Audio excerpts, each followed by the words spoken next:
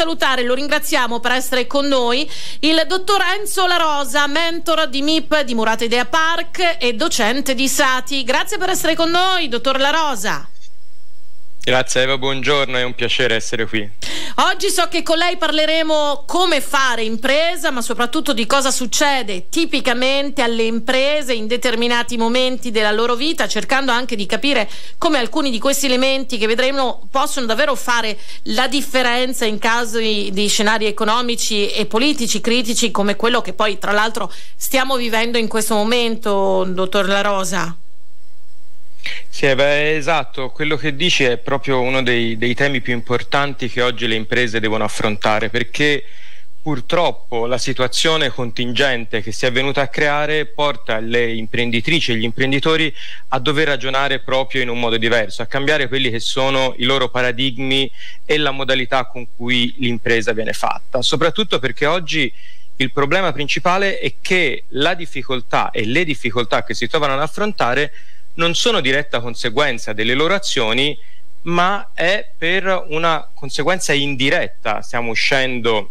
da una pandemia mondiale, stiamo affrontando una drammatica guerra alle porte dell'Europa e i costi dell'energia stanno profondamente mettendo in ginocchio le aziende. Questo porta a dover ripensare il modo con cui viene fatto impresa. È un punto fondamentale che oggi ogni entità imprenditoriale deve mettere a fuoco è il fatto che dobbiamo cambiare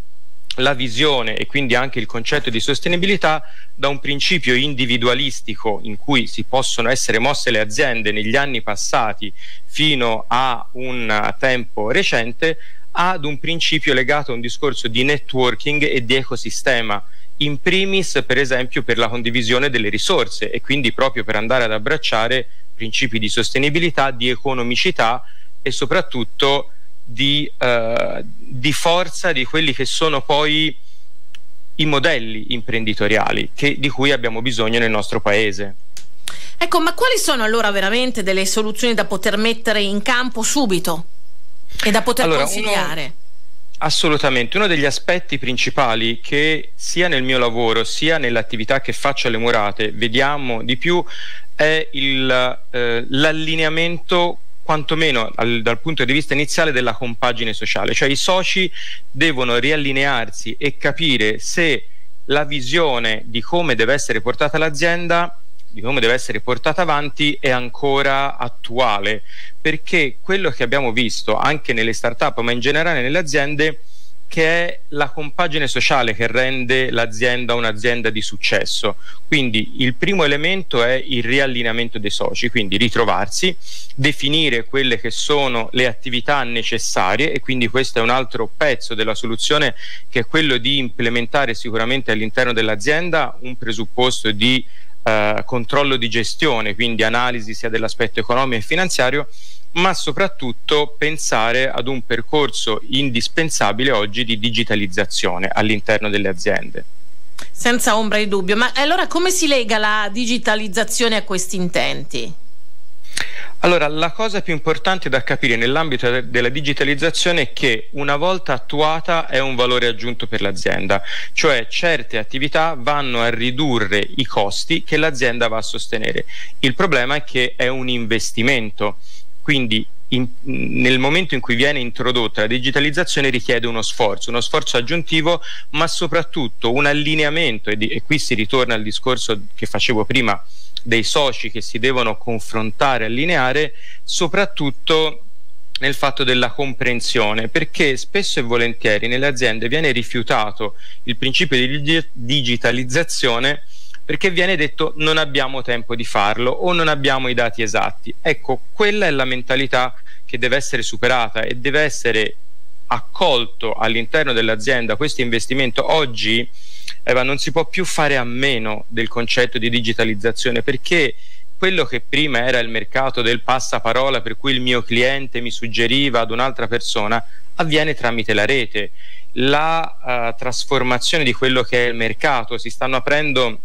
nuovi mercati. Recentemente con le Murate abbiamo fatto un incontro in Camera di Commercio legato alla blockchain con sono intervenuti molti imprenditori il professor Zatti della, della facoltà eh, di Economia di Firenze e quello che è venuto fuori è che la blockchain, per semplicità di concetto, è un nuovo mercato.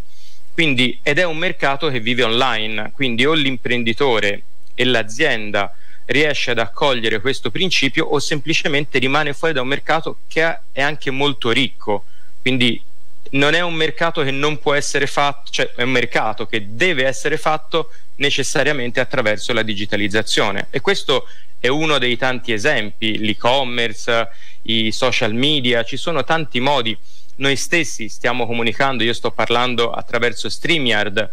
se non ci fossimo digitalizzati questo strumento non saremmo in grado di utilizzarlo e limiteremmo molto il nostro potenziale di comunicazione. Ecco, questo va, va, sottolineato e non ci dimenticheremo mai insomma, di, di, ricordarlo, che se non altro con tutto quello che c'è stato dovuto alla pandemia abbiamo anche proprio ehm,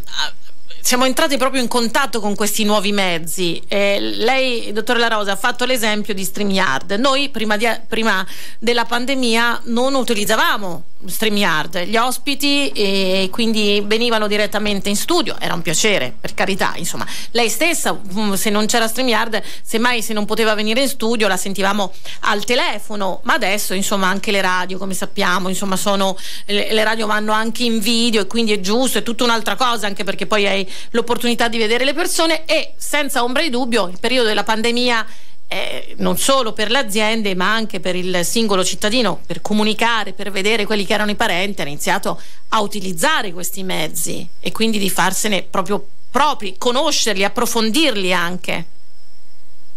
Esatto, ma in particolar modo l'esempio eh, che facevi tu Eva è voi avete accolto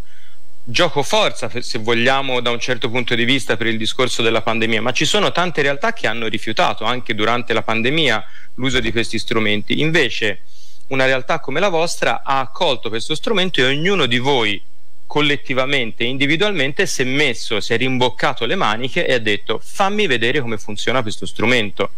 Quindi avete dovuto impiegare del vostro tempo, diciamo che la direzione dell'azienda ha detto bene, questo è il luogo dove vogliamo andare. Pensate se ci, pensa se ci fosse stato qualcuno che remava contro e quindi rendeva tutto questo non possibile. Quindi innanzitutto ci deve essere una comunanza di intenti. Se questa comunanza di intenti non c'è, si rischia grosso. Poi da questa comunanza di intenti che viene trasmessa a tutti gli stakeholder, si direbbe, i portatori di interesse all'interno dell'azienda, ognuno fa il suo piccolo lavoro positivamente, proattivamente per migliorare la situazione e ad oggi, anche passata la pandemia, possiamo continuare a usare questi strumenti. Pensiamo banalmente al risparmio dei costi di spostamento che un'azienda sostiene o non sostiene. È chiaro, il vedersi in presenza ha una qualità e una ricchezza della relazione maggiore, però ad oggi che dobbiamo contare il centesimo perché pensiamo appunto ai costi dell'energia, quindi la coperta è corta. Se io ho un'occasione, una chance, una possibilità di andare a risparmiare da qualche parte, che sia far uscire tutte le persone dall'azienda che hanno degli appuntamenti, ottenerle e sfruttare uno strumento sostanzialmente a costo zero quanto è StreamYard, per esempio, Meet, ce ne sono tantissime di queste piattaforme, è comunque in questo momento un risparmio che io vado a mettere nel mio piccolo salvadanaio probabilmente per pagarmi le spese della, dell'energia elettrica. Certo, mm, si è parlato proprio questa mattina insomma, del tema nel leggere del mattino, del venerdì in smart working per 1200 dipendenti comunali, è la proposta appunto eh, di Palazzo Vecchio, certo sta che comunque bisogna anche attrezzarsi, quindi mettersi in sicurezza, questo mi rivolgo soprattutto alle aziende, tra l'altro colgo l'occasione, dottor La Rosa, per ricordare anche l'appuntamento che ci sarà subito dopo di lei insieme al gruppo E dove ci occuperemo occuperemo proprio della sicurezza informatica. Ecco, l'incubatore di impresa Murate di Aparc, quindi insomma le aziende, cosa possono trovare? Allora, l'incubatore è parte di quel discorso che facevo all'inizio della necessità di creare degli ecosistemi, delle relazioni e dei network per aiutarsi vicendevolmente. Le Murate Idea Park nasce per supportare le start-up e quindi noi abbiamo le nostre call in cui accompagniamo le start-up nel loro processo di design del loro modello di business.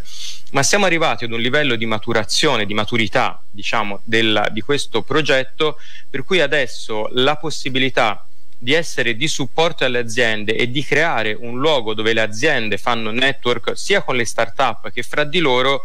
è diventata sia una possibilità sia una necessità, perché in questo modo possiamo andare a creare delle nuove possibilità, delle nuove soluzioni, come quella che banalmente facevamo l'esempio del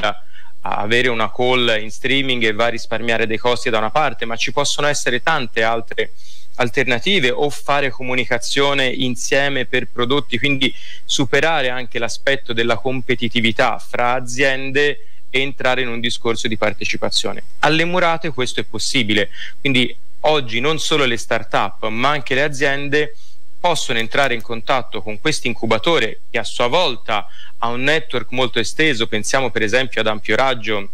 di cui uscirà l'intervista del presidente martedì prossimo nella nostra rubrica al MIP On Air.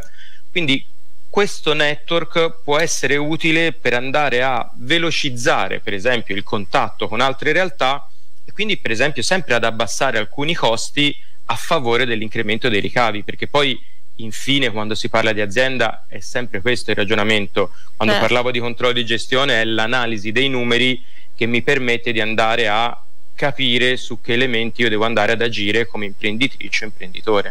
Grazie davvero al dottor Enzo La Rosa, mentor MIP e docente Sati, grazie davvero per essere stato con, con noi, esperto in consulenza. Grazie a te, sempre un piacere. Grazie davvero, qui. vogliamo ricordare insomma, che a tutti gli ascoltatori che proprio alla Sati sono aperte le iscrizioni per il nuovo corso di gestione di imprese in partenza proprio mercoledì 2 novembre che chiuderanno lunedì 24 ottobre. Tutte le informazioni le trovate su